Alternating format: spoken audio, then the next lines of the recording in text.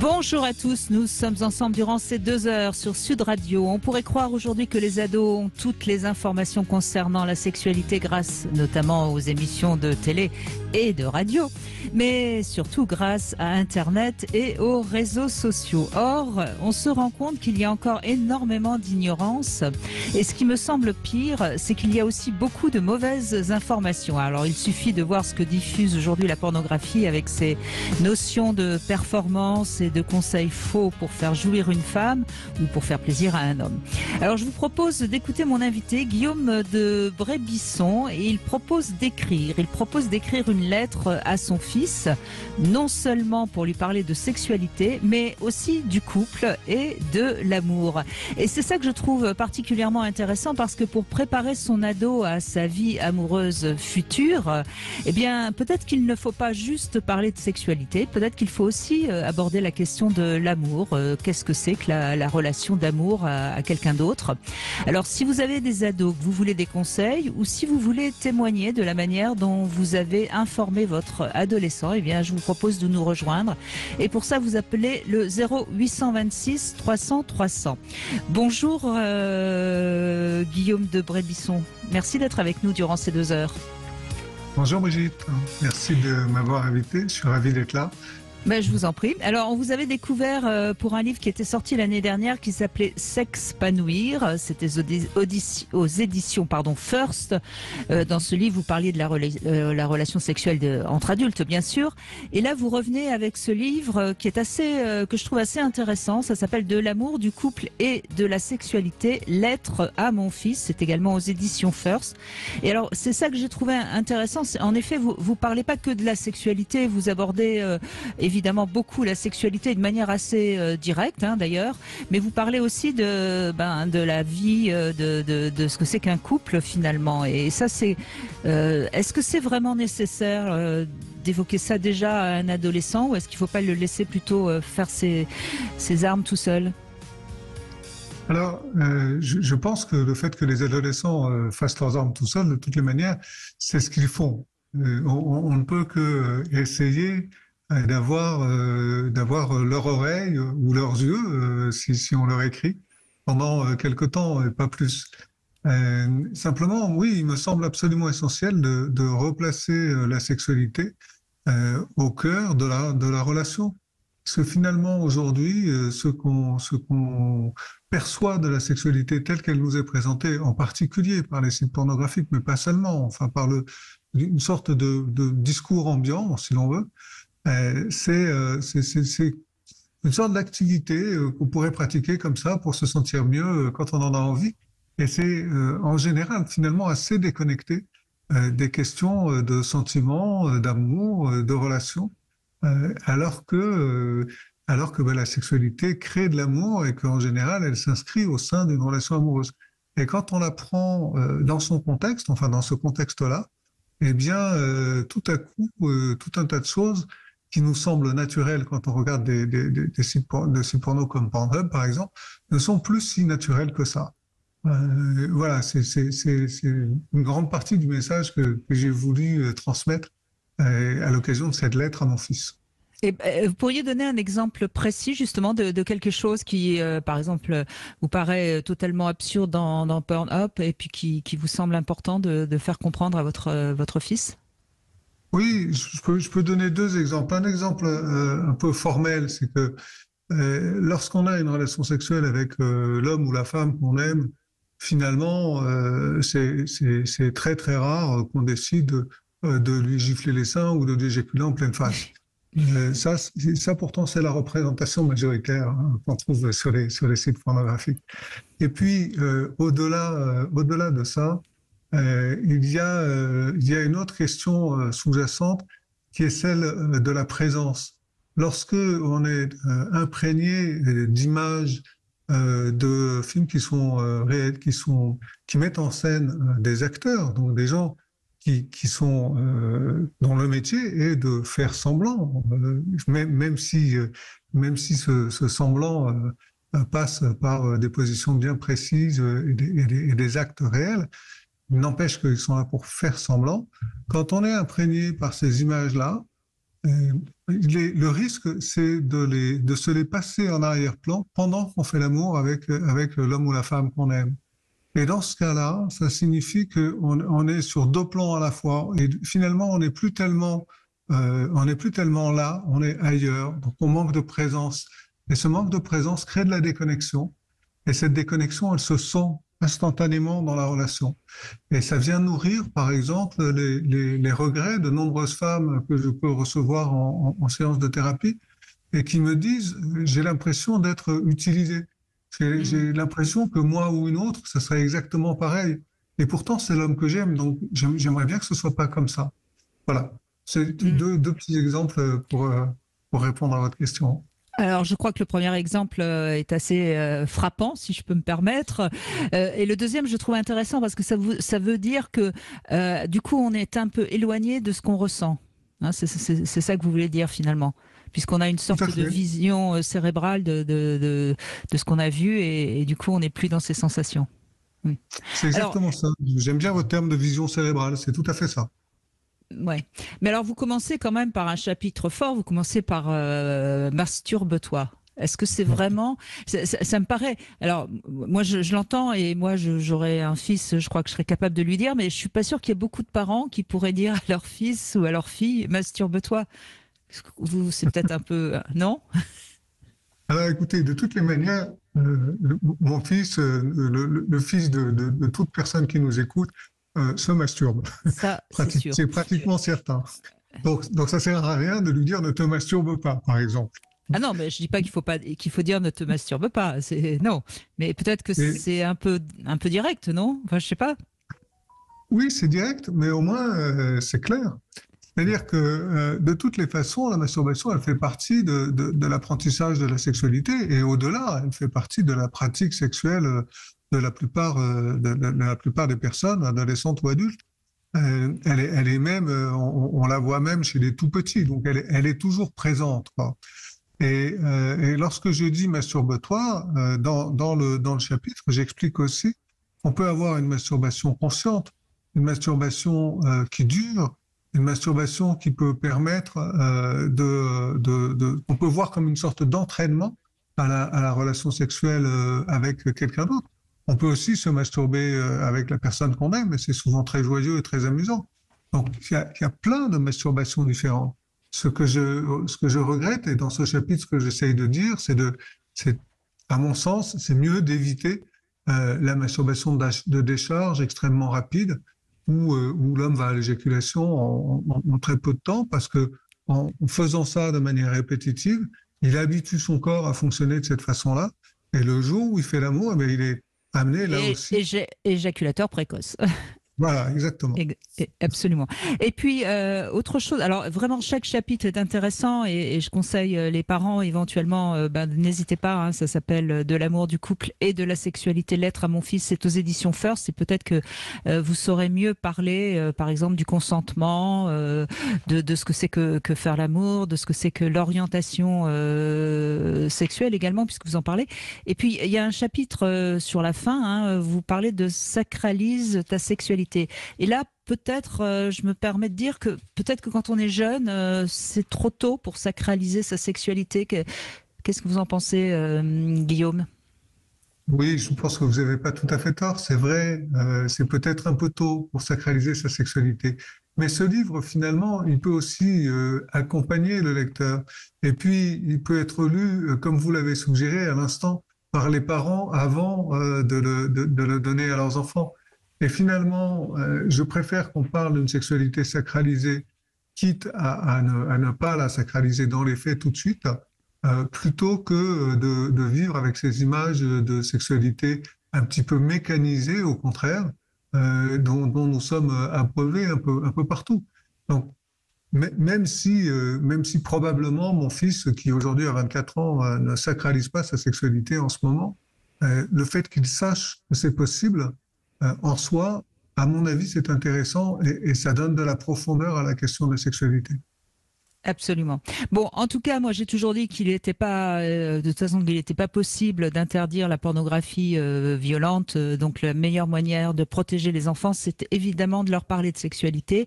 C'est ce qu'on va faire durant ces deux heures avec Guillaume de Brébisson qui est avec nous et avec vous, bien sûr. alors n'hésitez pas à nous rejoindre.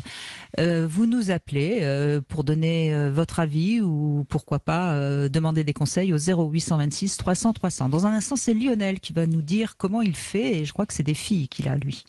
Chaque agence est juridiquement indépendante. Voir conditions sur laforêt.com. 14h-16h, Brigitte Lahaye, Sud Radio. Nous sommes euh, en compagnie de Guillaume de Brébisson, euh, sexothérapeute, et nous évoquons euh, la sexualité de nos ados. Comment leur en parler à l'occasion de la sortie de ce livre de l'amour, du couple et de la sexualité aux éditions First. Bonjour Lionel.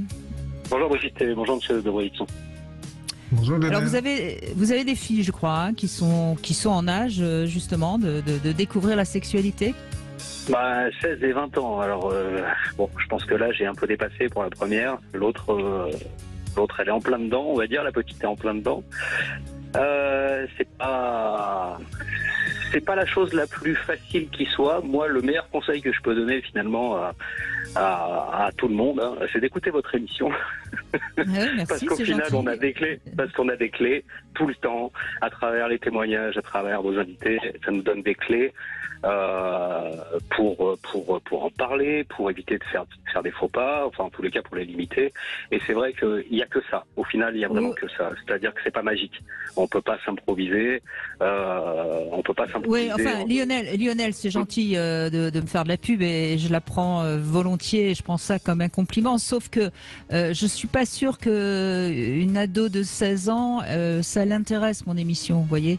Ah non, mais c'est pas pour le, ah non, mais c'est pas pour les ados que je parle, c'est pour les parents.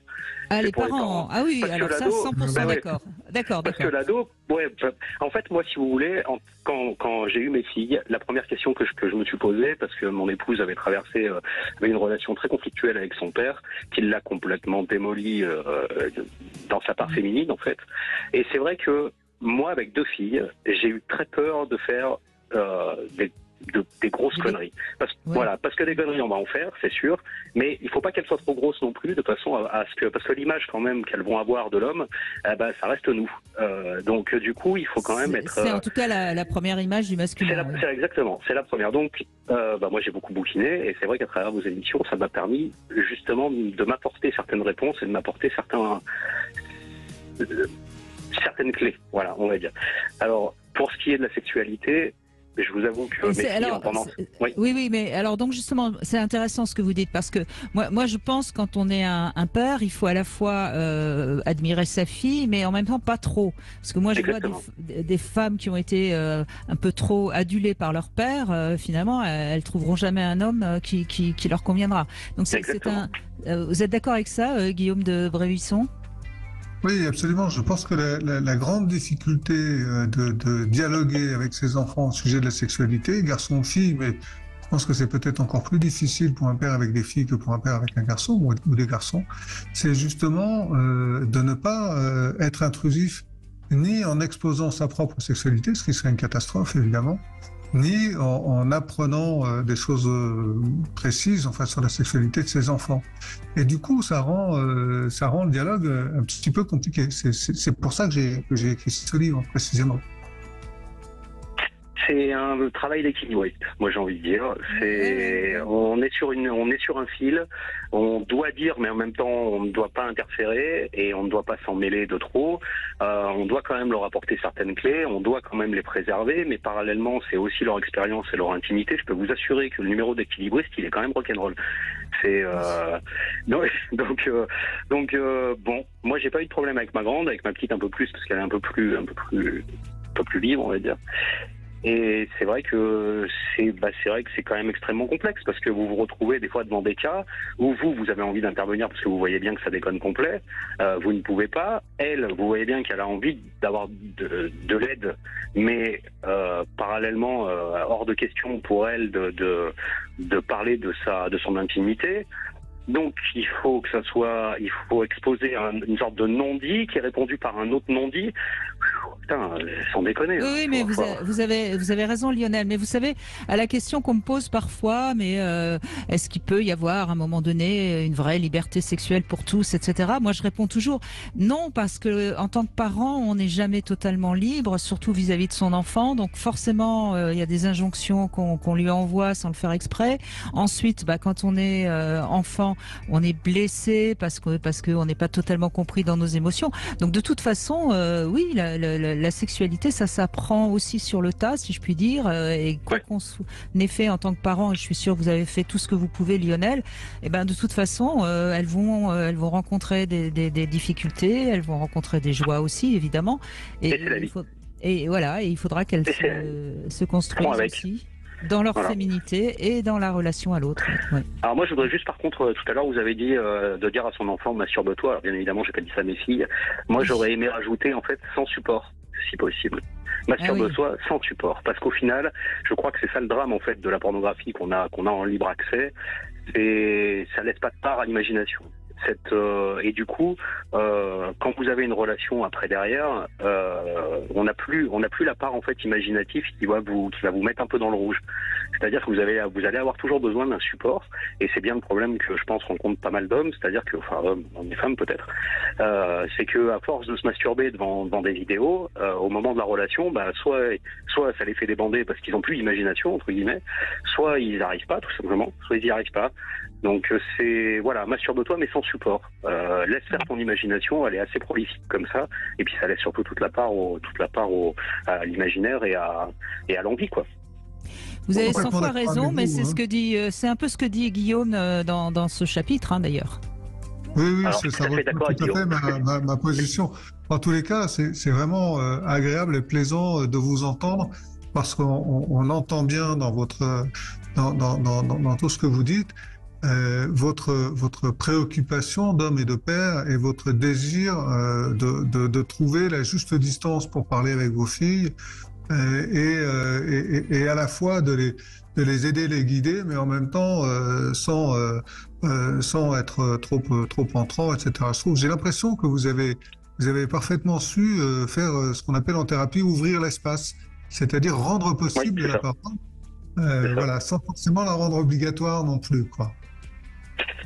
faut, une, faut un espace de liberté. Moi, j'aurais pas accepté que mes parents se mêlent de ma sexualité quand j'avais leur âge. Faut être clair.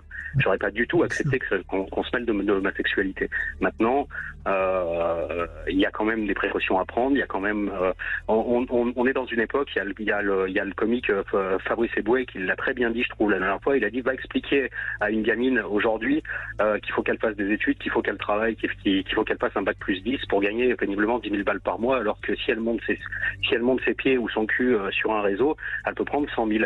Et c'est vrai qu'on a aussi cette difficulté-là en tant que, en parent aujourd'hui, c'est-à-dire que il faut aussi, alors tout à l'heure vous avez parlé de, sacralisation de la sexualité, et c'est vrai qu'il faut rendre aussi un peu le corps sacré, c'est-à-dire que c'est pas c'est pas c'est pas un jouet et c'est pas quelque chose qu'on peut marchander euh, facilement, mais c'est aussi encore quelque chose de très complexe parce que vous avez l'attrait de l'argent, vous avez l'image, euh, vous avez les médias, vous avez les réseaux sociaux, et finalement vous vous retrouvez confronté à tout un tas de trucs. Alors c'est vrai que euh, comme nous quand on était jeunes, on s'est retrouvé confronté à plus de choses que nos parents, mais je trouve que c'est quand même vraiment démultiplié à notre époque et c'est euh, et c'est compliqué. Moi j'ai deux filles qui sont très jolies vraiment, qui sont très belles et c'est et c'est d'autant plus compliqué parce que euh, elles voient bien les influenceuses et, et, comme c'est médiatisé à outrance, elles voient bien aussi les vies qu'elles ont euh, en, en, entre guillemets filmées.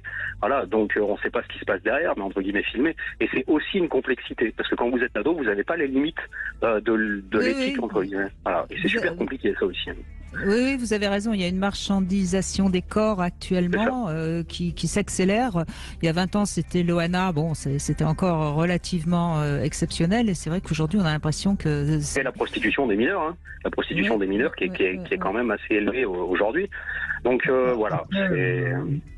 Je pense eh que ben, c'est important de ne pas oublier qu'on vit dans un monde où on a l'impression de tout connaître et de tout voir et de tout comprendre par, euh, comme vous le disiez, les réseaux sociaux, les médias, etc., etc. Mais ce sont des loupes grossissantes. Il y a aussi tout un tas de gens euh, qui vont très bien, euh, qui sont pas en train de se prostituer, qui sont pas euh, voilà, qui, qui, pas les yeux rivés sur le porno en permanence, etc., etc.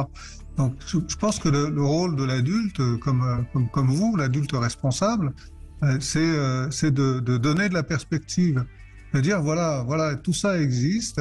Et après, ce qui est, important euh, quand on, quand on fait quelque chose, c'est d'être responsable de ses actes, de choisir et de comprendre que euh, y a une, y a une perspective, qu'il y a un contexte. Euh, voilà, et que, et que les, les, les actes ont des conséquences. C'est-à-dire amener de la conscience, ce que, ce que moi j'appelle la conscience, tout simplement. Et j'ai l'impression que vous le faites très bien. Eh ben, Ouais, c'est moi, ce que qu'on j'ai va fait pour mes continuer. filles. Ah, Oui, oui. Excusez-moi Lionel, je vous coupe parce qu'il faut faire une petite pause, mais euh, c'est ce qu'on va continuer à faire évidemment euh, avec vous sur euh, Sud Radio. N'hésitez pas. Merci beaucoup Lionel. Dans un instant, c'est Philippe Hoffman qu'on retrouve qui va nous parler des familles recomposées. Voilà encore euh, un truc difficile pour beaucoup d'ados. On se retrouve dans un instant. Brigitte Lahaye, Sud Radio, c'est l'instant Sexy News. Eh bien, c'est le moment de retrouver Philippe Hoffman, euh, Guillaume de Brébisson. Alors, vous nous parlez aujourd'hui des ados et des familles recomposées. Voilà encore quelque chose qui est difficile, j'imagine, pour, euh, pour les ados. Oui. Bonjour euh, Brigitte. Bonjour Guillaume. Euh, oui, aujourd'hui je vais je vais parler de d'une situation qui qui touche à peu près 10% des, des familles. Hein. Euh, c'est pas énorme, mais enfin ça fait quand même beaucoup de monde. Euh, c'est les familles recomposées et puis la réaction des enfants et des ados surtout euh, à l'intérieur de ces, ces familles. Ça se passe euh, moyennement bien. Hein, euh, ça dépend des familles évidemment, mais enfin en général il y a beaucoup de tensions, il y a beaucoup de conflits. euh, et puis les ados, ils sont encore plus virulents que que les tout petits, donc euh, euh, ils y vont un peu fort. Il y a des insultes, parfois il y a ça va jusqu'à la bagarre, quoi. Et, on entend souvent euh, les phrases du style lâche-moi, t'as pas d'ordre à me donner, t'es pas ma mère, t'es pas mon père, je te déteste, et parfois bien pire. Donc c'est un rejet qui est assez euh, classique, mais qui existe depuis très longtemps. Euh, en fait, dans, dans les histoires de famille, vous savez, on a toujours une idéalisation de la famille où la famille devrait être euh, parfaite, unie, solide, solidaire, etc. Et bon, ça, c'est une image d'épinal. Et en fait, dans la famille recomposée, on, c'est toujours le personnage maudit qui arrive au sein de cette famille qui viendrait remplacer cette figure idéale. Et en, on a toujours la, représentation, savez, de la marâtre euh, ou de l'abuseur euh, violent euh, qui reste ancré dans notre imaginaire collectif. Et on on a du mal à en décoller. Pourtant, euh, aujourd'hui, la plupart des couples qui veulent recomposer une famille, euh, ils le font avec euh, des trésors de patience, d'efforts pour apprivoiser les enfants, malgré un malaise et, et parfois des provocations. Donc, euh, Mais est-ce que, est-ce que Philippe Hoffman, justement, c'est quand, la famille se recompose, si je puis dire, et que l'ado, et que, l- enfin, que l'enfant est, est ado, est-ce que c'est plus difficile, justement? Il y a des, à partir de, enfin, quel, quel est l'âge difficile euh, Qu'est-ce que vous Alors, l'âge le euh, l'âge le plus compliqué en fait, c'est le début de l'adolescence. Comme je le dis souvent dans mes chroniques, euh, le début de l'adolescence, c'est parce que c'est une sorte de révolution totale, à la fois biologique, sexuelle, psychologique, cognitive. Enfin bon, ça part dans tous les sens. Et si et donc les ados, ils ont vraiment un fort sentiment de perte. Et euh, quand euh, ils sont dans cette situation, ça vient en rajouter, si vous voulez, l'histoire de la Mhm. séparation euh, conjugale et, et de la recomposition familiale. Donc forcément, celui qui arrive ou celle qui arrive, c'est l'ennemi à abattre. Et en plus de ça, euh, souvent il y a, il y a une euh, il y a une ex ou un ex euh, qui est, qui s'est senti bafoué, lésé, rejeté, qui en rajoute et avec des mots du genre ouais cette pouffe qui a rapté ton père ou ce pervers manipulateur qui a séduit ta mère, etc. Donc on, on connaît tout ça, puis vous en parlez souvent dans vos émissions. Et évidemment, c'est pas pour arranger les choses. Mais ce qui se passe aussi et ce qui est particulier, c'est qu'il y a un trouble euh, supplémentaire qui est lié vraiment à la sexualité hein, euh, pour pour les pour les jeunes qui arrivent euh, dans ces eaux-là, vers 13 ans, vers 13-14 ans, parce que les ados, ils peuvent pas vraiment rejouer une, histoire oedipienne classique en, rejetant papa ou maman ou et en étant tout à la fois proche et, et distant. Et par exemple, si la mère se remarie, euh, ils, vont, avoir le sentiment de la perdre totalement parce qu'elle va retrouver un statut de femme et des désirs sexuels.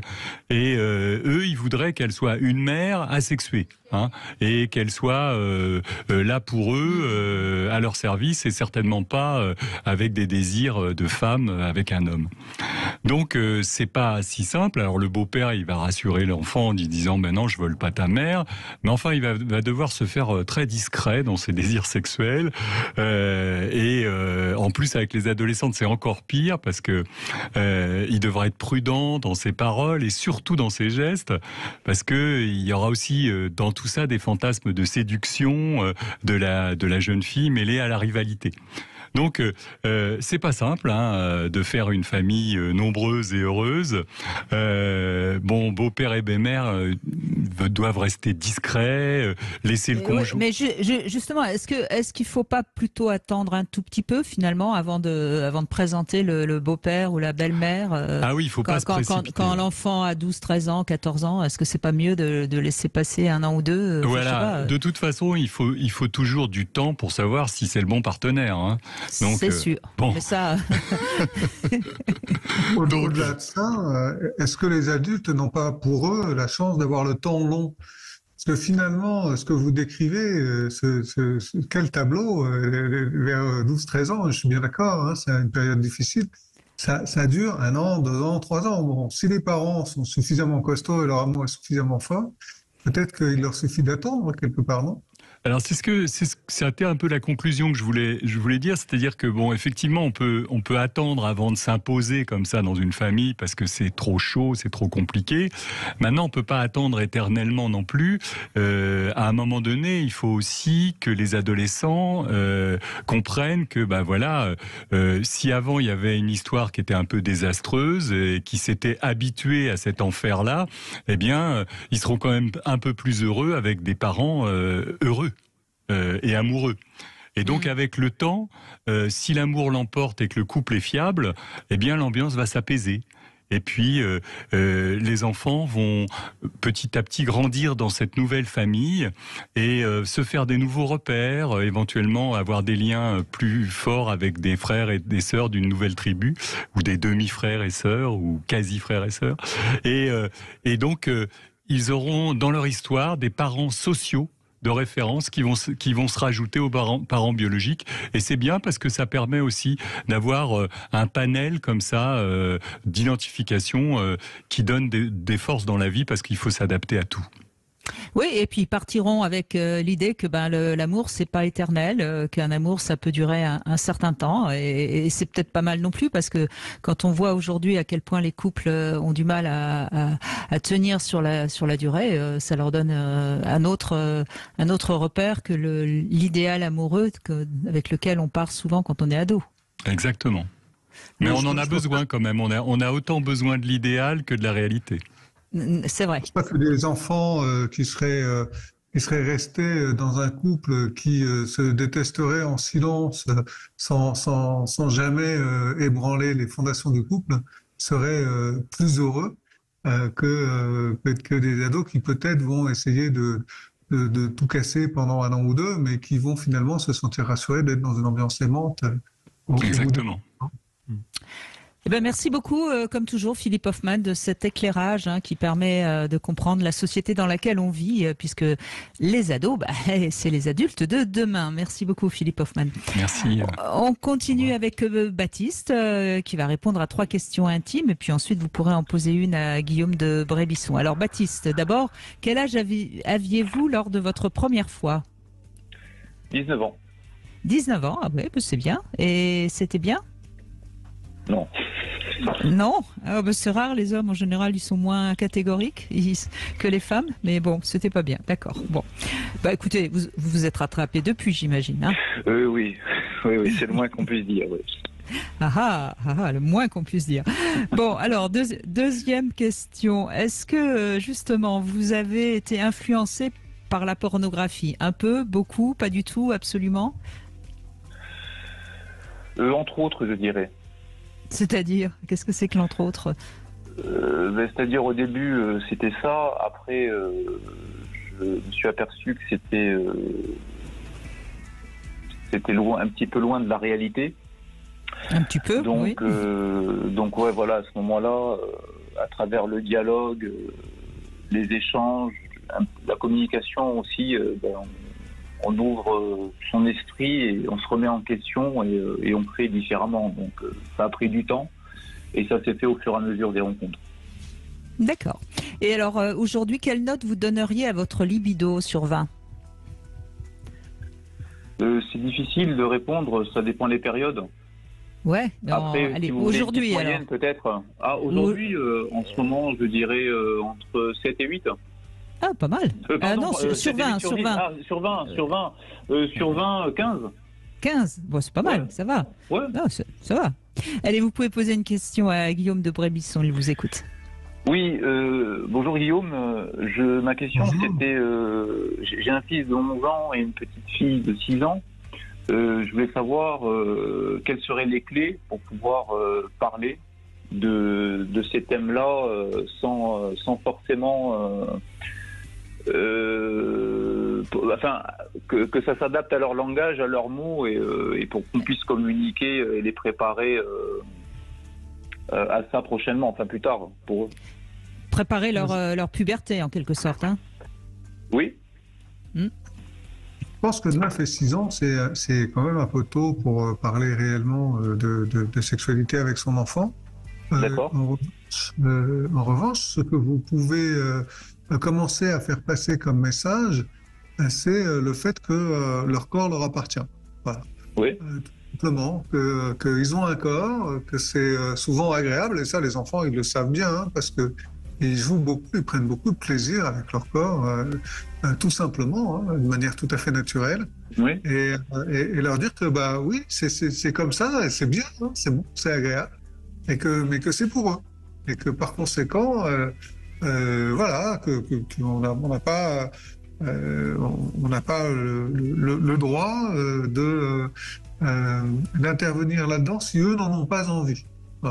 Je pense que je pense que c'est le message principal que vous pouvez faire passer à, à, à, à 9 ou 6 ans, hein, euh, à, peu près. La, la, sexualité elle-même, même si euh, même si probablement elle existe sous une forme infantile, euh, c'est un peu tôt, il me semble, pour pour mettre des, des, des mots dessus. hein.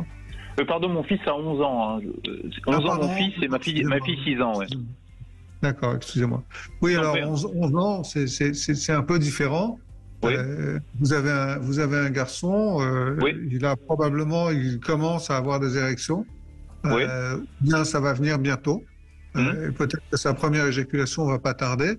À ce Oui. moment-là, ce que vous pouvez euh, peut-être faire, c'est juste euh, lui dire que si, jamais euh, il se sent gêné par quelque chose, il peut venir vous voir et, et- et- et vous en parler. C'est-à-dire, le, le- risque de la parole de l'adulte, c'est toujours d'envahir l'enfant euh, Oui. au, au moment qui n'est pas juste. Et le moment qui n'est Mm. pas juste, c'est juste jusqu'à la veille du jour où c'est juste, et, on ne sait pas quand c'est. Donc, Mm. le plus important, c'est vraiment euh, de, de, euh, euh, de montrer que, que on, on connaît ça, euh, qu'il ne faut pas avoir peur et qu'on est disponible. Voilà. Et, et donc, euh, juste avoir une, une relation de confiance avec, euh, avec son enfant. Et, et du père au fils, je pense que c'est d'autant plus important. D'accord. Voilà. Merci Baptiste, en tout cas. Merci. À vous. Allez, on fait Merci. une petite pause. euh, on continue à répondre à vos questions ou à écouter justement comment vous avez euh, enseigné la sexualité à votre enfant. Vous pouvez nous appeler sur Sud Radio au 0826 300 300. On se retrouve tout de suite. 16h, Brigitte Lahaye, Sud Radio.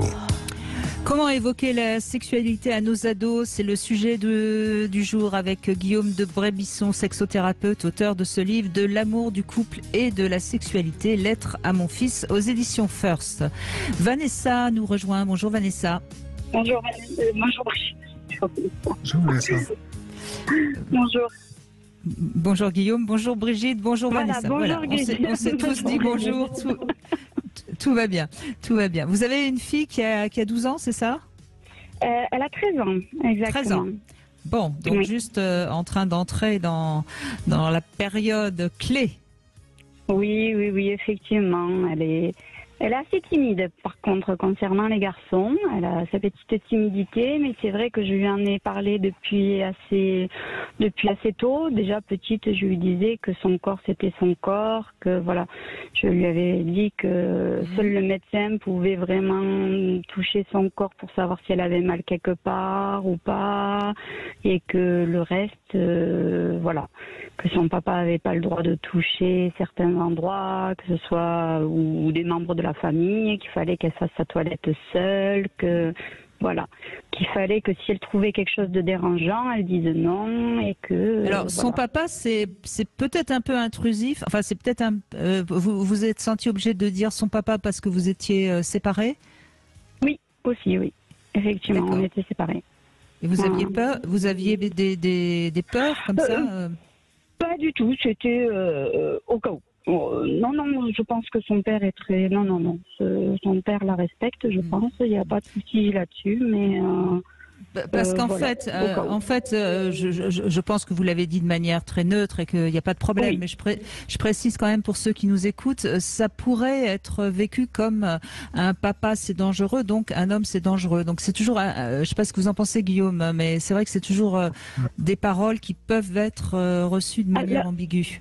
Alors je l'ai dit en même temps que je disais tata ou euh, voilà. J'ai précisé oui, mais je vous ai- un membre féminin euh, à côté aussi quand même pour pas qu'il y ait de problème. Donc, donc en- dans votre cas, c'est pas grave, mais euh, il faut quand même, enfin, il faut toujours faire attention aux informations qu'on passe, euh, qu'on transmet dans cette émission, parce que pour d'autres personnes, ça peut être euh, interprété différemment. Que- euh, Guillaume de, de Brébisson, qu'est-ce que vous, qu'est-ce que vous dites euh, justement à ce sujet? Je, je- je pense que d'abord, je vous remercie effectivement de- de- de- de- d'avoir euh, d'avoir signalé ça parce que parce que oui, le risque c'est c'est de laisser entendre que le père est dangereux et l'homme est dangereux euh, nécessairement. On vit une époque où aujourd'hui il y a une une, parole euh, féminine euh, très agressive à l'égard des hommes, alors avec de bonnes raisons, hein, qu'il ne s'agit pas de, dire le contraire. Mais cette parole très agressive, elle, s'étend à l'ensemble du genre masculin et les enfants l'entendent aussi. Et par conséquent, euh, les, hommes sont déjà, euh, dans, certains cas, euh, suspects a priori. Et, lorsque et, c'est bien de montrer que, les- hommes peuvent aussi être doux, respectueux, euh, agréables à fréquenter et, à aimer. Et puis, au-delà de ça, ce qui me semble important, c'est que lorsqu'on parle de sexualité avec son enfant, quel que soit l'âge, euh, on a, je crois, une certaine tendance à parler des dangers, c'est-à-dire à introduire de la peur. Euh, et, autant, je pense que ce serait, serait euh, préférable, ce serait de, parler de manière positive. Donc, ton corps t'appartient, oui. C'est toi qui décides de qui peut le toucher, oui. Et, dire, dire un tel, un tel, un tel, un tel euh, n'ont pas le droit, euh, c'est déjà peut-être, euh, dans certains cas, introduire une forme de peur ou de défiance. Et moi, c'est ça qui me semble le plus embêtant, parce que, euh, parce que l'amour et la sexualité, c'est une question d'ouverture à l'autre, une question d'ouverture de son corps et d'ouverture à l'autre. Voilà. J'ai peut-être oublié un détail parce que je me suis inclus aussi dans, dans le, le- le fait que je n'avais pas le droit de lui faire certaines choses aussi. Mais Vanessa, on- on- on- Voilà. euh, en ce qui vous concerne, je pense qu'il n'y a aucun problème. Vous êtes lucide et vous avez fait ce qu'il fallait. C'est juste euh, une information générale hein, que nous avons passée euh, parce que c'est important. C'est important de, de tout, tout le monde n'a peut-être pas euh, déjà eu l'idée de dire à, à- son enfant que son corps lui appartient. Et ça, je crois que c'est vraiment le premier message qu'il faut qu'il faut transmettre. Et ça, on peut le dire à un enfant qui est très très jeune. Hein. Trois ans, il est déjà capable de l'entendre. Alors, euh, euh, moi j'ai participé à, une, euh, un entretien avec, je me rappelle plus le nom, j'a- j'arrive pas à le retenir, Sébastien, un ancien joueur de rugby qui, qui fait colosse au pied d'argile. Et franchement, il a une façon de transmettre les messages qu'éventuellement je conseillerais au moins dans les écoles. qui voilà parce que lui il a vécu justement ben, malheureusement euh, étant abus, jeune. des abus. euh, vo- voilà, des abus de son entraîneur de rugby et qui était, je pense, aussi un membre de sa famille, si j'ai bien compris, si je me rappelle bien. Donc euh, voilà, et il fait, euh, il fait le tour comme ça, à qui l'appelle, et franchement, c'est. Et on a vu le film de avec Eric Cantona qui a pris son rôle euh, récemment à la télé. Et franchement, voilà, ils, ils partent, ils partent partout en France et ils ont un message bien transmis, euh, vraiment bien. Et c'est vrai que je le conseille dans les écoles parce que ça fait, euh, ça fait écho et ça parle aux enfants. C'est très très bien fait, c'est très bien ficelé. Et par la même occasion, ben, en écoutant vos émissions, du coup, j'ai acheté aussi la, hum, la BD de hum, Titeuf pour ma Ben oui. fille. Voilà. C'était plus Oui, facile à lui transmettre. euh, euh, voilà. C'était au moins euh, par le biais d'une BD parce qu'elle n'est pas très lecture. Et c'était plus simple. Aussi, Bah, de toute façon, de toute façon, la, la- la bande dessinée pour un pour un enfant, un ado, c'est toujours plus euh, plus fun. Et il y a, je crois que c'est comment elle s'appelle cette euh, sexologue euh, américaine qui a fait justement des BD pour tout- tous les âges. Euh, zut, euh, Robert, je crois. Ça, je sais, ça c'est évidemment son nom de famille, c'est pas son prénom. Euh, ça vous dit rien, euh, Guillaume de Brébisson Non, malheureusement, là, j'étais en train d'essayer de vous suivre pour voir à qui vous je je, crois que c'est. Jocelyne. Je crois que c'est Jocelyne Robert, euh, mais je, je n'en suis pas certaine. Mais en tout cas, elle a fait des bandes dessinées pour pour tous les âges et ça c'est très bien aussi. Mais Titoff c'est très bien aussi. Donc euh, voilà. Et puis euh, pour pour des enfants, une une bande dessinée, ça ça, ça les amuse un peu et, et les informations elles passent. Et ce qui est bien souvent dans ces bandes dessinées, c'est que comme vous le disiez Guillaume, c'est à la fois des des informations euh, de, de précaution, mais aussi des des informations euh, agréables. Et c'est ça qui est euh, qui est important. Alors, du coup, euh, pardon. Non, je, Ouais. je voulais juste dire qu'il faut se souvenir que, que l'amour est agréable, que la sexualité est agréable et que c'est avant tout quand même un plaisir. Quoi. Voilà, ce message-là, Alors. il me semble important à faire passer aussi.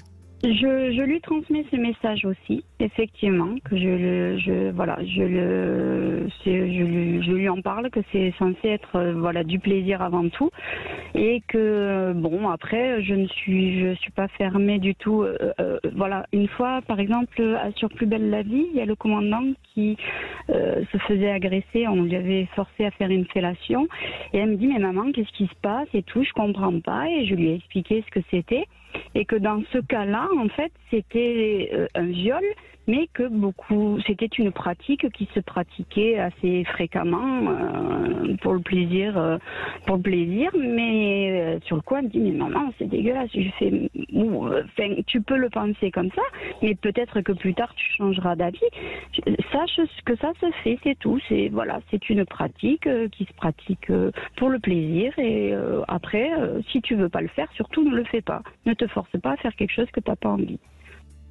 Très bien, très bien, très bien. Et puis de toute façon, J'ai l'impression que c'était très complet, hein, tout, ce que, tout ce que vous avez euh, pu voir et dire euh, avec votre, avec votre fille. C'est formidable hein, d'avoir pu aborder autant de autant d'aspects de, de la sexualité. J'ai l'impression qu'il y a une grande confiance entre vous deux.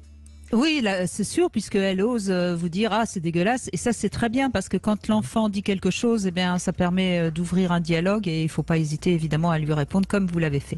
Merci beaucoup Vanessa en tout cas de ce témoignage. On va continuer dans cette deuxième heure bien sûr à, à vous écouter et puis peut-être euh, à répondre à vos questions si vous en avez. On, on continue à évoquer euh, l'éducation sexuelle des ados sur Sud Radio au 0826 300 300. Et vous n'échappez pas à la devinette du jour Guillaume de Brébisson.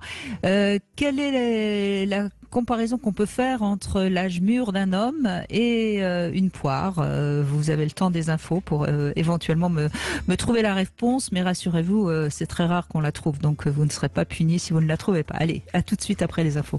14h-16h, Brigitte Lahaye, Sud Radio. Nous sommes aujourd'hui avec euh, Guillaume de Brébisson à l'occasion de la sortie de son livre De l'amour, du couple et de la sexualité. Lettre à mon fils, c'est aux éditions First dans lequel vous parlez beaucoup de, sexualité évidemment puisque vous donnez euh, à votre fils euh, beaucoup de conseils euh, sur les fantasmes, sur euh, sur le consentement, sur l'orientation sexuelle, mais vous parlez également euh, du couple. Vous dites aime ton couple euh, et vous, vous abordez évidemment aussi la question de la sexualité consciente sur laquelle on va peut-être revenir euh, dans cette émission. Mais d'abord, je voudrais la réponse à ma devinette. Euh, L'âge mûr des hommes s'apparente à celui des poires. Euh, pourquoi avez- Je sais pas, les deux, les deux sont délicieux. si vous voulez, mais dans les deux cas, eh bien, c'est la queue qui lâche dans les poires, comme chez les hommes euh, très mûrs. Voilà, c'était ça la bonne réponse. Alors, on va, on va donner la parole à, à Aurélie maintenant. Bonjour Aurélie. Bonjour Brigitte, bonjour Guillaume. Bonjour Aurélie. Me- Merci d'être avec nous. Alors, euh, vous avez eu plusieurs enfants, hein, Aurélie, euh, de deux, deux pères différents, je crois. hein. C'est bien ça? Oui, tout à fait. J'ai euh, deux ados euh, que je vois de- pas de manière régulière. Donc effectivement, j'ai des sujets que j'ai pu aborder euh, un peu avant leur adolescence et euh, deux enfants en bas âge euh, qui vont grandir dans, dans un modèle de couple euh, plein d'amour. Et, euh, et justement, avec mon conjoint, on se, on se disait il n'y a pas très longtemps qu'on était en train de certainement mettre la barre euh, haute euh, dans leur modèle euh, et leur schéma de, pour plus tard, euh, pour la, les relations qu'ils qui, qu'ils rechercheront, s'ils se basent à ce qu'ils voient aujourd'hui et ce qu'ils verront certainement pendant toute euh, euh, leur, euh, leur évolution. Alors, qu'est-ce qui vous fait dire ça Je crois l'avoir deviné, mais dites-nous. Mais parce qu'on se, s'aime clairement et on n'a pas de pudeur de s'embrasser ou de s'enlacer devant nos enfants. On fait des des câlins tous les deux en amoureux, des câlins de famille. On se dit je t'aime devant eux. On leur dit je t'aime. Notre petite qui a à peine deux ans, elle nous le dit aussi qu'elle nous aime. Elle a cette notion de l'amour déjà et elle le dit aussi à son petit frère. Et euh, c'est voilà, c'est la maison de l'amour quoi. Est-ce que oui, mais est-ce que est-ce que ça, enfin quand vous vo- quand, quand vous vous embrassez devant votre petite fille, qu'est-ce que, quelle serait sa réaction? Qu'est-ce que vous diriez? Elle, sourit, elle tape des mains ou elle, ou elle veut se mettre entre vous? Alors, au départ, elle voulait se mettre entre nous. Euh. Voilà, parce qu'on pensait tout à fait normal de séparer son papa de sa maman. On garde papa pour soi. Et puis, on lui a tout- toujours expliqué que voilà, c'était un moment euh, où papa et maman se faisaient, un- faisaient un câlin et qu'après que nous, on ait fini notre câlin, on peut faire un câlin tous les trois.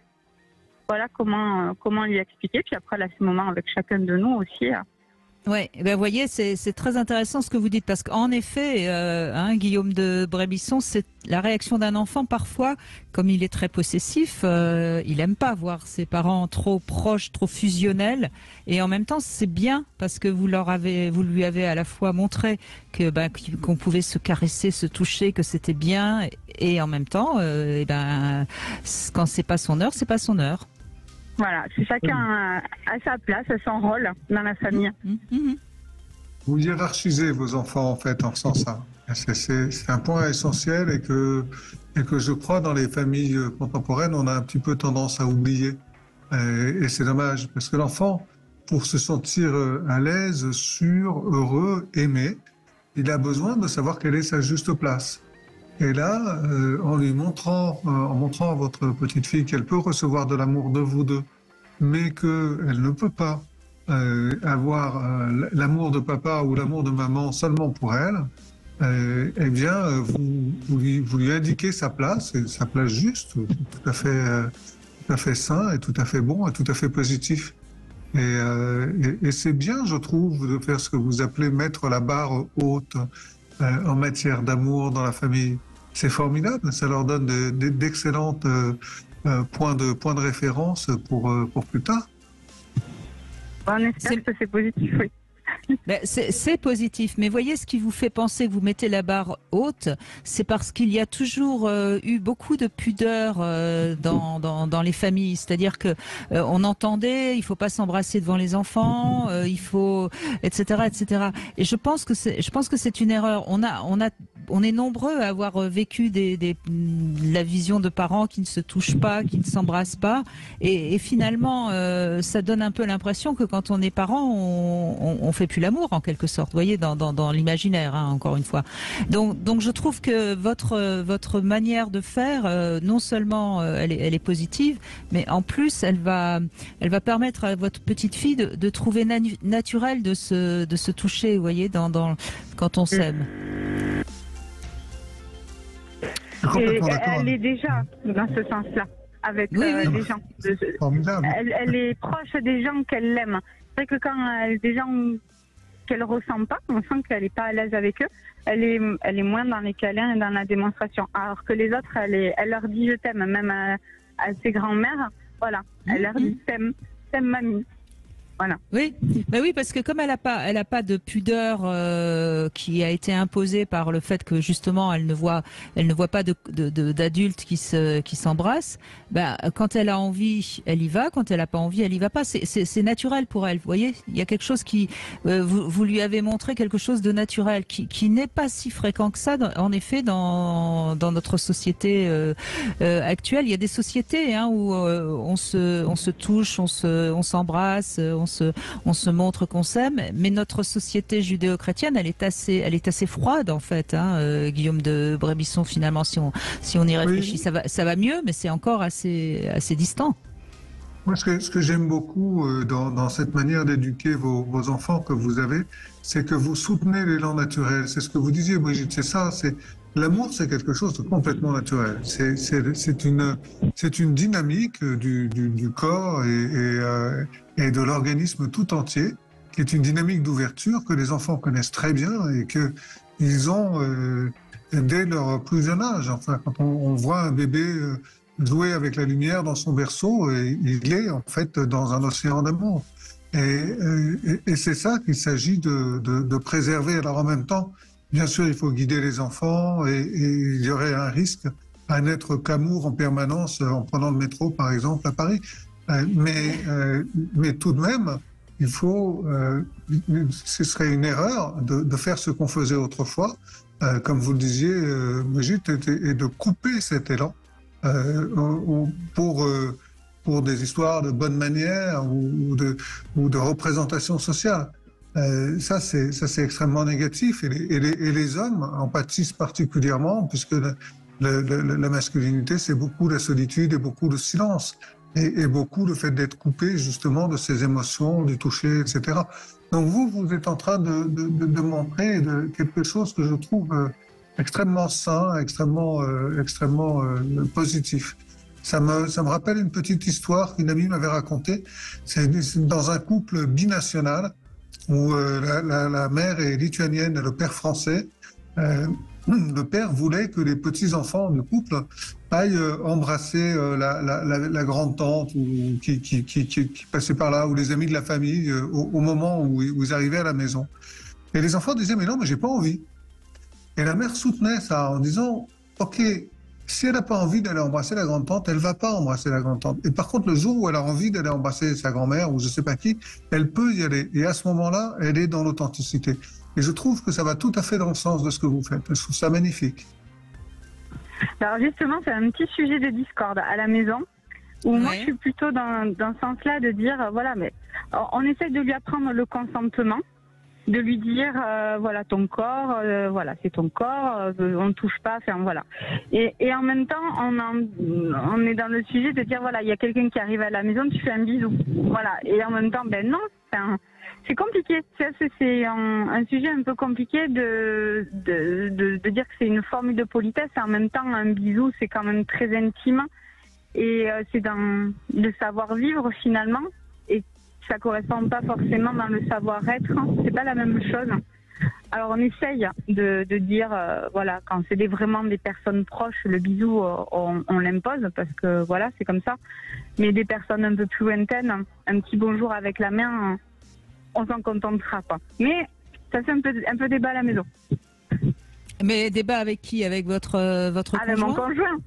conjoint. C'est- c'est- Pourquoi? Parce que lui, il veut, il veut, il veut pas qu'elle. euh, si elle a pas envie, il veut pas, c'est ça?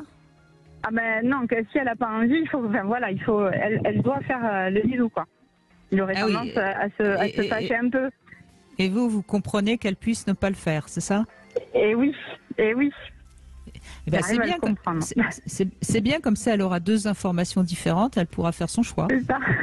Et Après tout, on peut toujours voir les choses du bon côté, Aurélie. Ah, mais oui. Mais euh, c'est vrai que c'est un, c'est- vrai que les enfants, ils sont là pour justement euh, nous prouver qu'il n'y a pas une seule vérité. C'est toujours le, Oui. c'est toujours ça. Merci en tout cas, merci beaucoup Aurélie de ce témoignage très positif. Merci à vous. Alors, on va faire une petite pause. On va continuer bien sûr euh, toujours avec vous sur, Sud Radio dans un instant 0826 300 300. À tout de suite. 14h-16h, Brigitte Lahaye, Sud Radio. Comment expliquer ce qu'est la sexualité à nos ados? C'est notre sujet avec Guillaume de Brébisson, auteur de ce livre euh, de l'amour, du couple et de la sexualité. Lettre à mon fils aux éditions First. Vous avez à peu près euh, tout euh, ce qui peut concerner justement la vie amoureuse future de votre adolescent dans ce livre. Donc n'hésitez pas si vous avez besoin de conseils. Samuel, bonjour. Oui, bonjour Brigitte, bonjour Guillaume. Donc vous avez deux fils, hein, vous c'est bien ça? Oui, c'est ça, oui.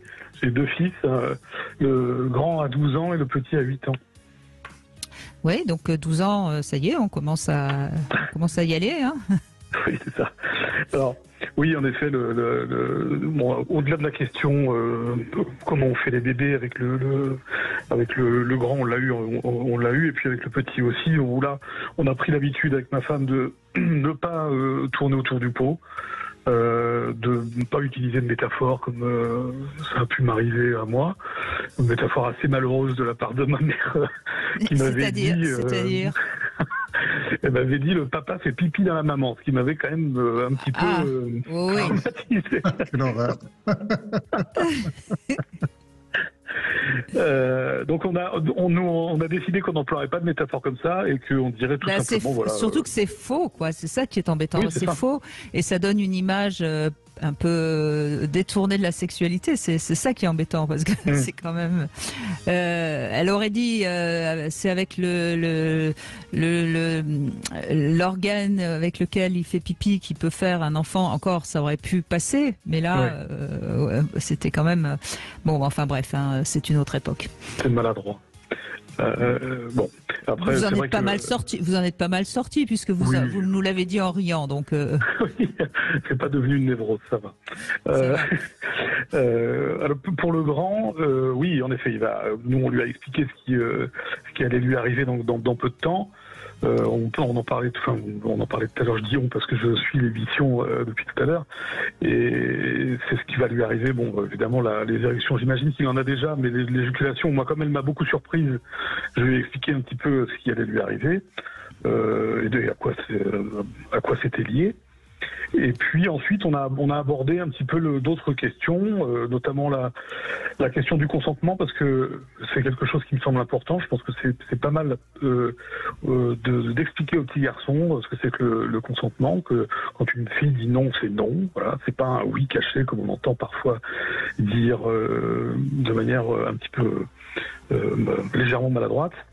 Euh, voilà, donc il y avait cette question-là, et puis il y a eu aussi euh, l'autre jour, euh, euh, on était, euh, il n'avait pas école le lendemain, donc il avait autorisation de regarder un petit peu la télévision, et on, est tombé sur une émission sur TMC, euh, l'émission de, de- de- d'une membre, du- une membre de l'équipe de euh, Yann Barthès sur euh, TMC, euh, une émission sur le plaisir féminin, et on a, on est tombé là-dessus par hasard. hein. Vraiment, c'était euh, ce- la, la- la télévision était en fond et euh, comme elle a commencé à parler du clitoris. Donc euh, bon, euh, papa, qu'est-ce que c'est que ça? Et bah, je lui ai dit, bah écoute, tu, tu restes et puis tu, tu regardes l'émission avec nous. Et euh, il a été question de cette dame, cette chercheuse, Odile Fillot, qui a été euh, la, la- la première chercheuse à, à mettre à disposition en accès libre euh, euh, et imprimable en 3D un clitoris en taille réelle. Euh, voilà, et qui, qui se, donc se bat pour essayer de, de- de- de faire comprendre ce que c'est, euh, ce qui euh, euh, n'est pas une mince affaire manifestement, parce que c'est encore relativement mé- méconnu, je crois, le plaisir féminin, il me semble. hein. Oui, enfin en même temps, euh, Odile Buisson, je, je, la connais, je vois très bien de. de c'est compliqué parce que c'est pas non plus, à mon avis, euh, formidable de montrer le, le, le, clitoris en 3D pour expliquer comment fonctionne euh, la sexualité féminine. Euh, bon, après, je sais pas ce que vous en pensez, Guillaume de Brébisson, mais euh, c'est c'est pas, enfin, je suis pas sûr que ce soit euh, si, si, parlant pour. Euh, vous êtes d'accord ou pas Moi, je trouve que c'est excusez-moi, je trouve que la, démarche, est intéressante parce qu'elle est scientifique. Et chez, chez, euh, chez Madame Fignot, elle est moins militante que scientifique. Oui, non, mais euh, Odile Buisson, elle a fait un travail remarquable et c'est tout à fait. Euh, enfin, je, je, sais pas parce que vous n'avez pas l'air de parler de la même Odile que moi. Je, je me trompe peut-être, Samuel. Euh, C'était Odile Buisson ou pas? Il me, il me, semble que c'est Odile Fillot peut-être que euh, a changé de nom, je sais pas. Bon, bref, toujours est-il que si vous voulez, euh, ce qu'il faut bien comprendre, c'est que c'est interne cette, cette histoire de racine du clitoris. C'est interne et quelque part ça concerne le vagin. Et donc, en montrant le clitoris de cette manière-là, quelque part, on donne euh, pour des pour des gens euh, qui sont pas adultes. Hein, euh, vous, Samuel, vous connaissez les femmes. Je pense que vous avez à peu près su remettre le le, le schéma en place, si je puis dire.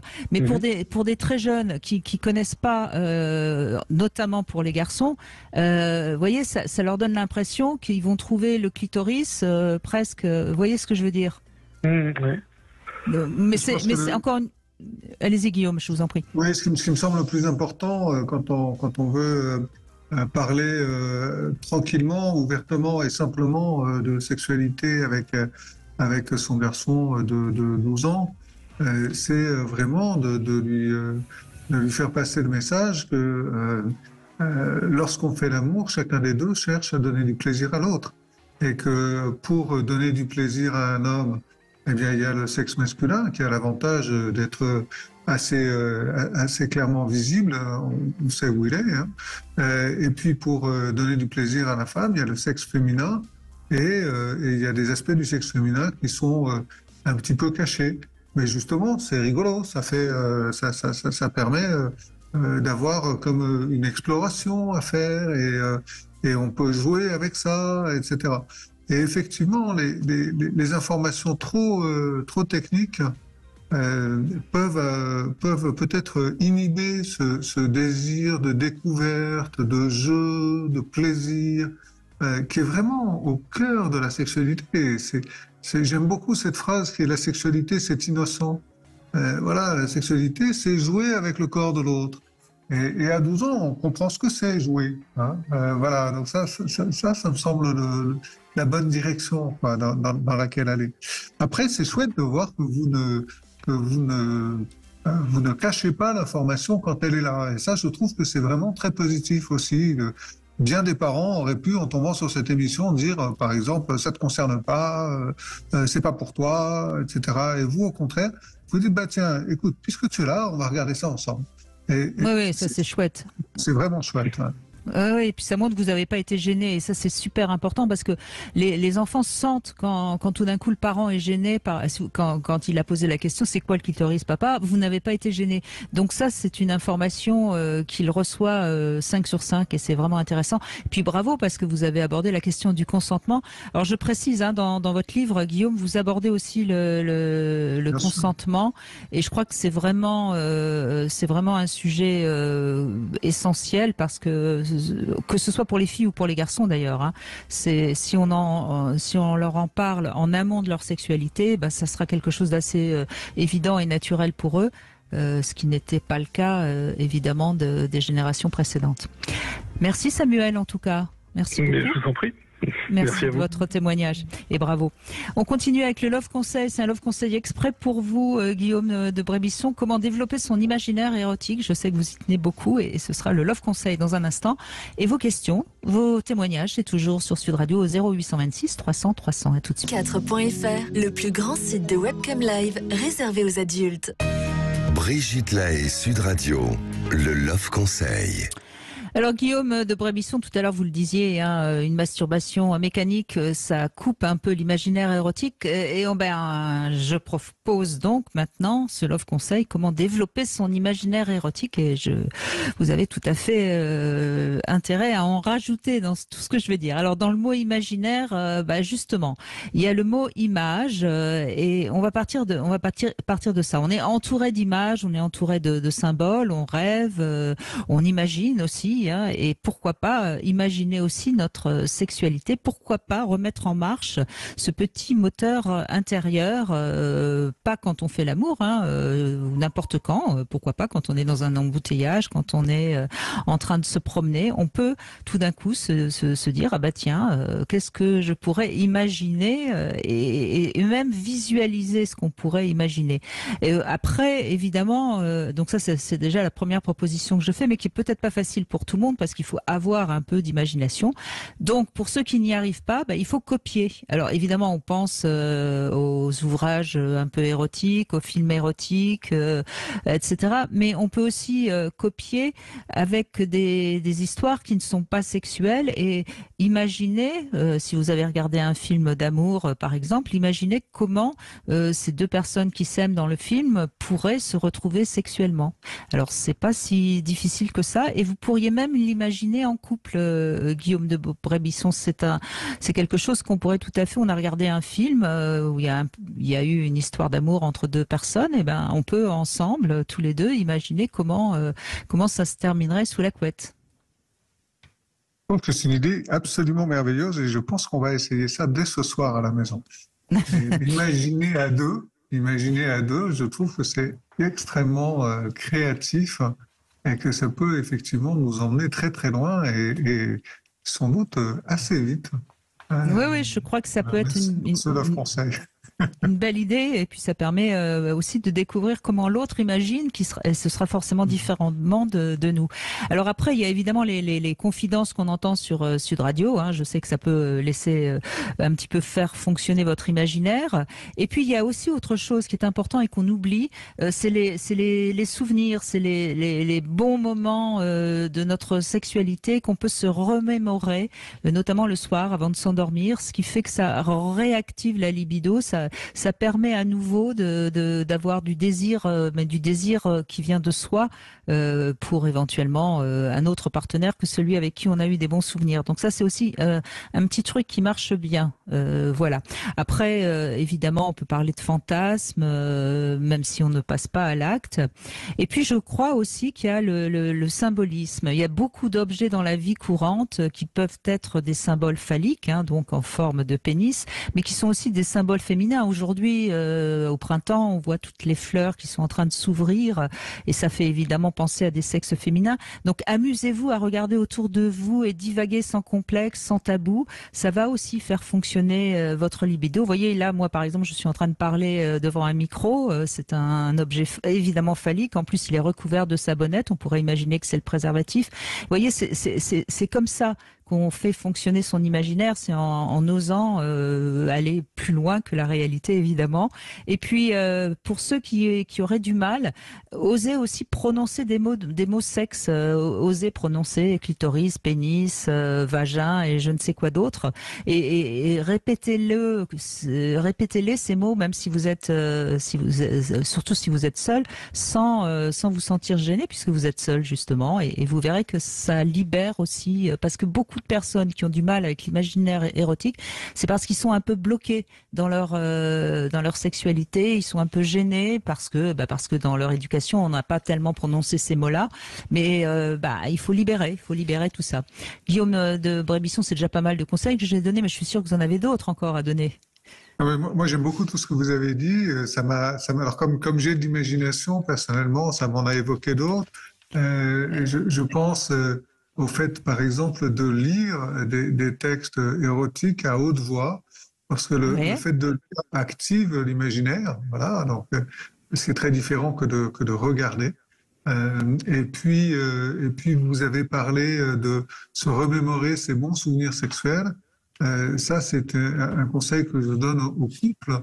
Racontez-vous régulièrement vos meilleurs moments de sexualité entre vous, évidemment. Ne racontez pas à votre compagne ou à votre épouse le meilleur moment de sexualité que vous avez eu avec quelqu'un d'autre. Avec les ex, non, ça. avec elle.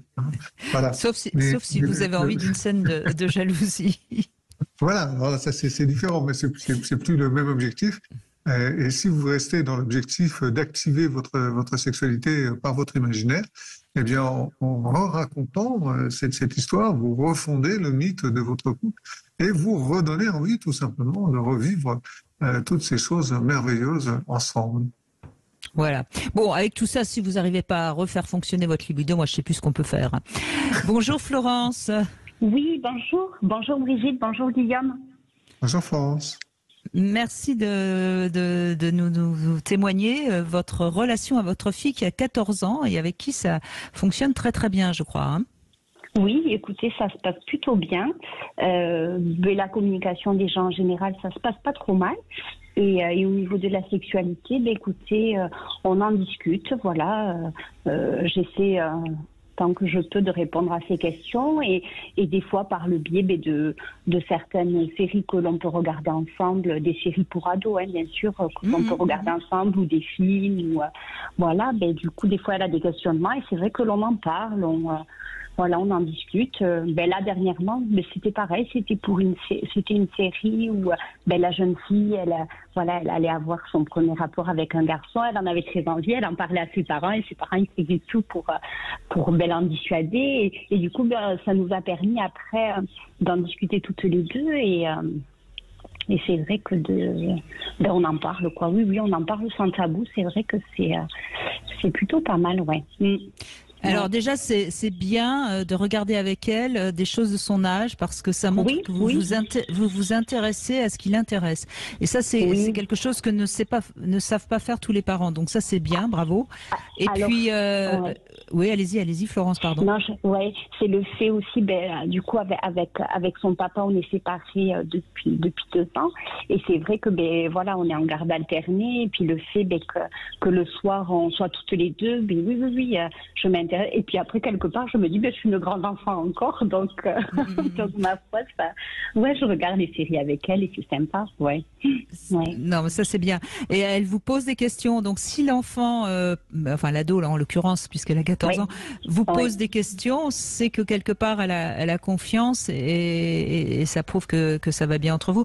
Il y a des questions parfois qui, qui, qui, vous étonnent. Euh, alors là, dernièrement, il y a eu une. Alors elle m'a dit quelque chose qui n'était pas une question, mais euh, c'est rigolo. Elle me dit, maman, euh, pareil, une série. Alors là, c'est une série euh, plutôt que moi j'aimais bien, mais tout à fait sortait quelque chose de très, voilà, de très très soft.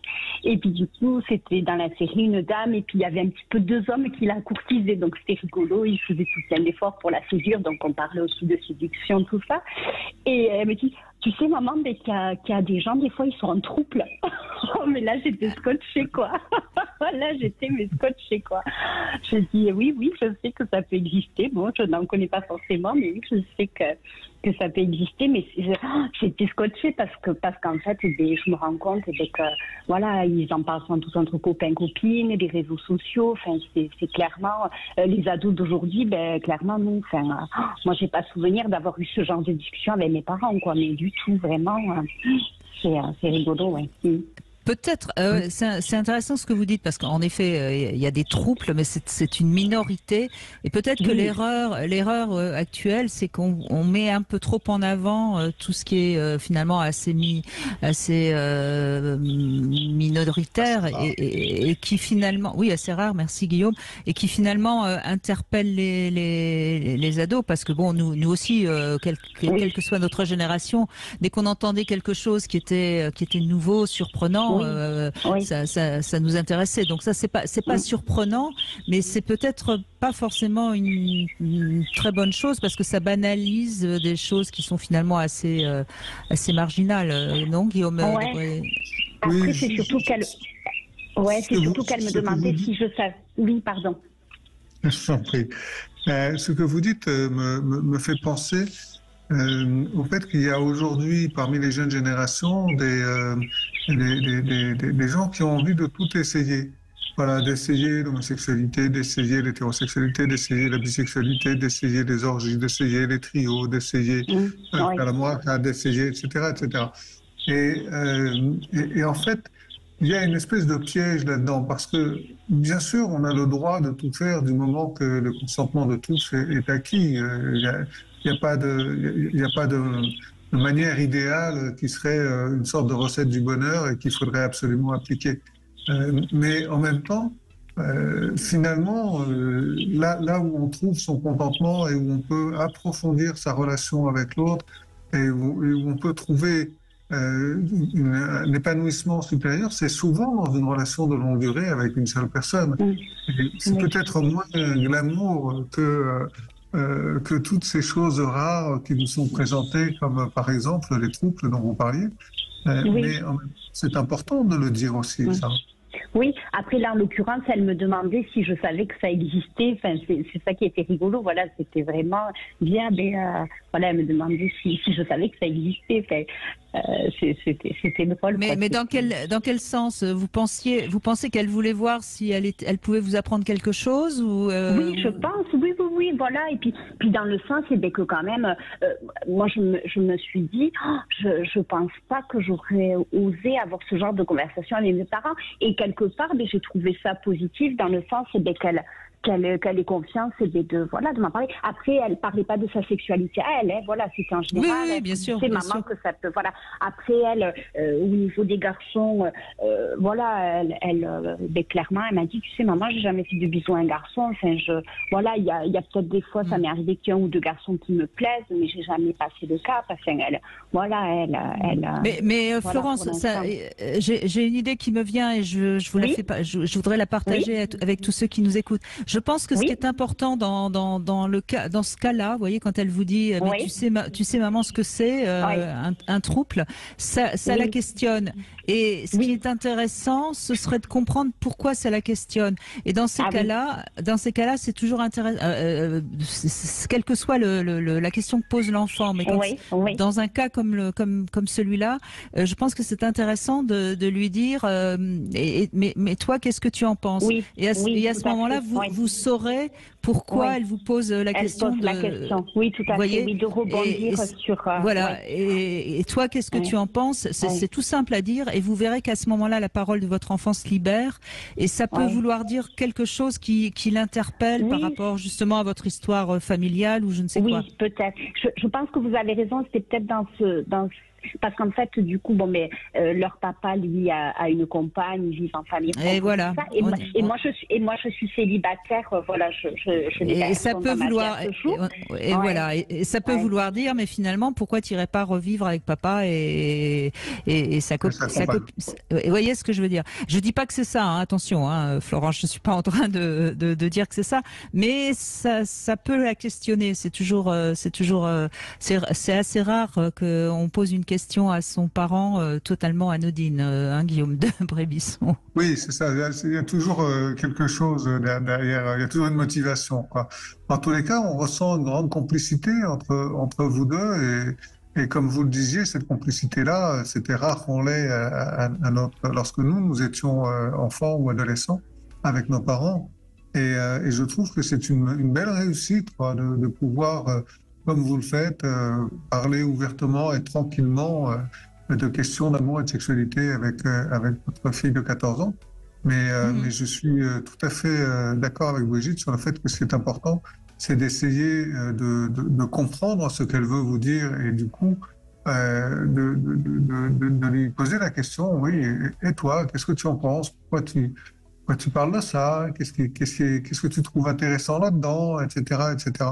Euh, plus, plus, vous, euh, plus vous ouvrirez euh, l'espace pour qu'elle puisse, elle, s'exprimer, et, et, plus votre complicité s'approfondira et, et, plus votre éducation sera, sera positive pour elle, je pense. Et en tout cas, Ouais. En tout cas, ça fait plaisir à entendre. Euh, bon, alors euh, après, euh, on a, on, on a, un- c'est un peu faussé, hein, euh, Guillaume de Brémisson, parce qu'on a que des auditeurs qui vont, qui savent parler avec leurs euh, leurs enfants, mais c'est des auditeurs qui nous écoutent. Alors forcément, ils sont un peu plus euh, ouverts à, à tout ça que, que peut-être la majorité des Français. Allez, on fait une petite pause. On se retrouve dans un instant sur Sud Radio. 4.fr, le plus grand site de webcam live réservé aux adultes. 14h-16h, Brigitte Lahaye, Sud Radio.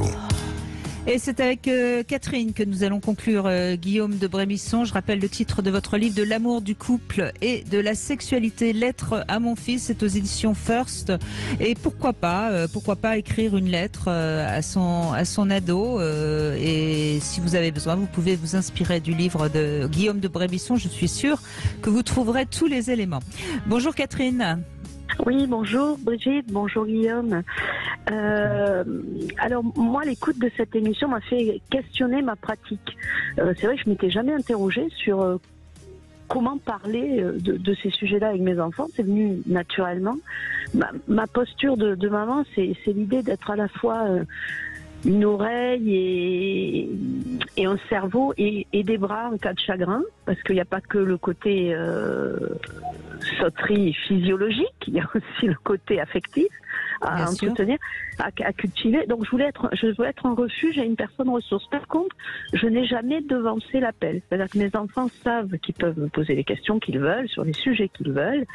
Euh, une fois, j'ai souvenir d'une fois où petit, mon, mon aîné qui a maintenant 28 ans devait avoir euh, 7-8 ans, il m'a demandé par l'intermédiaire de sa sœur de lui acheter le, le guide du sexuel de, de Titeuf qui venait de sortir et qui était en tête de gondole.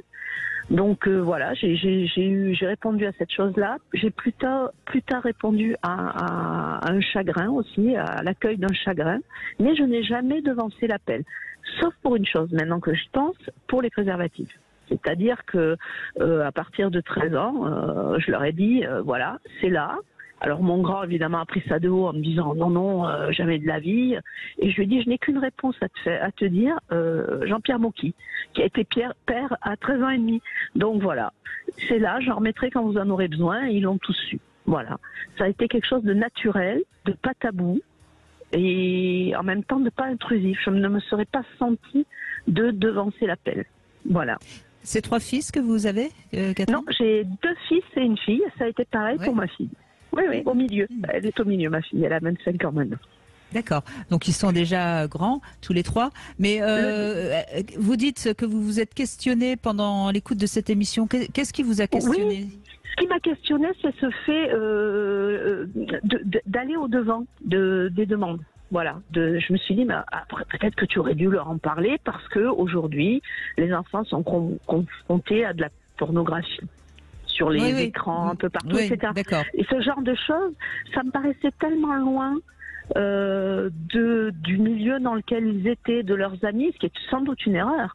Mais, mais je, je me rassure maintenant a posteriori en me disant que je les ai armés dans un, un- une estime d'eux-mêmes et un respect de l'autre qui fait que ça doit quelque peu prémunir contre des pratiques euh, euh, Vous avez- trop extrêmes. Oui, oui, vous avez, vous avez raison. On, on sait que les dégâts de la pornographie sont plus importants sur des enfants qui sont dans des familles euh, qui dysfonctionnent. euh, quand, quand les enfants sont dans des, des, des, des familles où il y a de l'amour et du respect, en général, ça, ça fait moins de dégâts. Mais ce qu'il faut savoir, Catherine, vous, visiblement, vos enfants vont bien, donc euh, vous n'avez pas... Tout, tout va bien, je crois qu'il n'y a, a aucun souci à vous faire.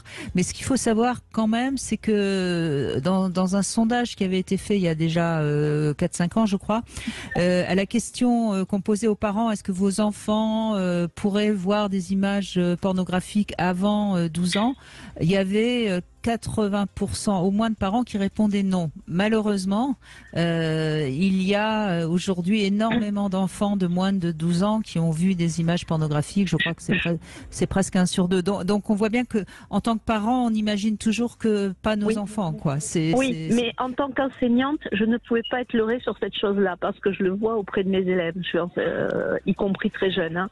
Donc, euh, Oui. j'avais j'avais une vigilance, c'est-à-dire que euh, de temps en temps, je- je disais pas que j'étais intrusive, c'est que je, je lançais, euh, j'hameçonnais et effectivement, je savais, euh, notamment mon dernier qui a 18 ans maintenant, je sais très bien qu'il a vu euh, le pire.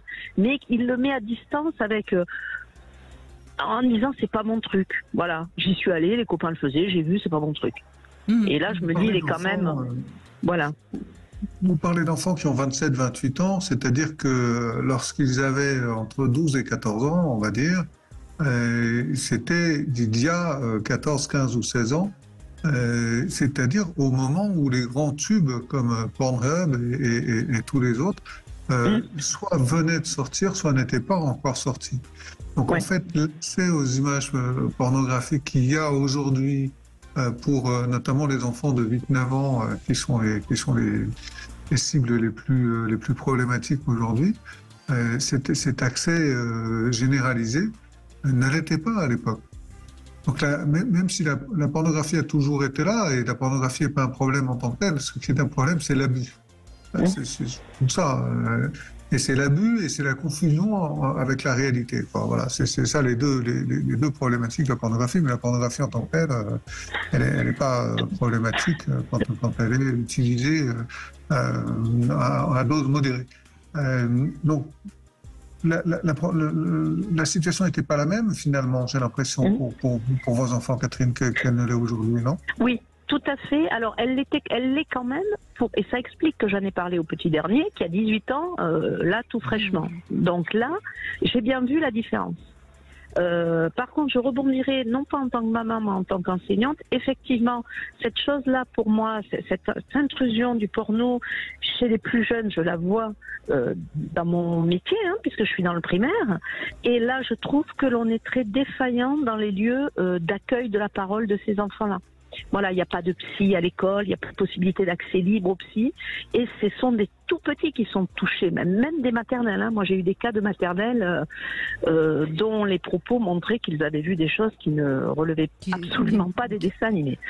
Voilà. Euh, ouais, mais je crois que l'information doit vraiment passer aujourd'hui. On a, on n'a pas, de- on n'a pas d'autre solution que d'informer les, les, les, les tout petits, euh, puisque de toute façon la pornographie, elle sera. euh, et, et pour l'instant, c'est vrai qu'on on entend plutôt des gens qui voudraient interdire euh, la pornographie, mais euh, c'est, c'est, pas, possible. Donc euh, il faut, il faut, oser aborder la question, mais c'est vrai qu'on n'en est pas encore tout à fait là.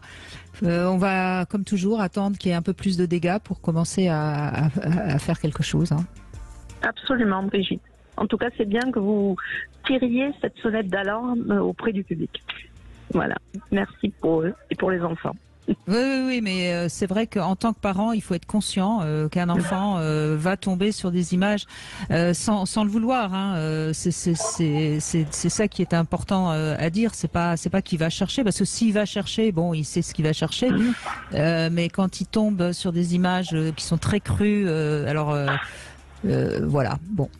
C'est donc important de lui de lui dire, de de- d'aborder la question, de dire, tu sais, euh, parfois il y a des images qui montrent euh, des choses entre adultes qui sont pas euh, qui sont pas réellement de la sexualité. Euh, si tu si tu es choqué, tu peux m'en parler. Euh, c'est pas c'est pas la peine d'en dire plus, hein, euh, Guillaume de, c'est toujours de, de de donner cette de donner ce message quand même à un moment donné à un enfant qui a qui a 7-8 ans quoi. Je pense qu'il faut, il faut rappeler d'une manière générale aux enfants et, aussi aux adolescents qu'on peut toujours euh, éteindre. On peut toujours éteindre un écran, on peut toujours euh, tourner le dos à quelque chose qui nous, qui nous gêne. Euh, voilà. Et l'autre chose, je crois, pour les parents, c'est de se souvenir que le, problème que pose la, pornographie vers les enfants est un problème qui est lié beaucoup à l'usage du téléphone portable. Donc en fait, euh, des enfants qui ont un téléphone portable euh, plus tard que d'autres sont des enfants qui sont moins exposés que les autres à, euh, la, pornographie des, tubes. Bon voilà, donc là, là, aussi, il y a une réflexion à mener. On voit aussi aujourd'hui des enfants très très jeunes qui, qui ont un accès au téléphone portable qui n'est pas, qui pas souhaitable. Mais, c'est difficile hein, de réguler l'usage du portable dans une famille. C'est vrai. Et ben c'est sur cette parole euh, que nous allons conclure cette émission intéressante. Merci beaucoup Guillaume de Brébisson. Merci euh, Catherine euh, d'avoir abordé cette question-là. Tout de suite vous retrouvez C'est votre avenir et demain, demain nous serons avec Robert Zuilly et nous allons essayer de comprendre de quoi on parle quand on parle de rancœur. La rancœur qui est peut-être plus typiquement féminine que masculine, mais vous en saurez plus demain.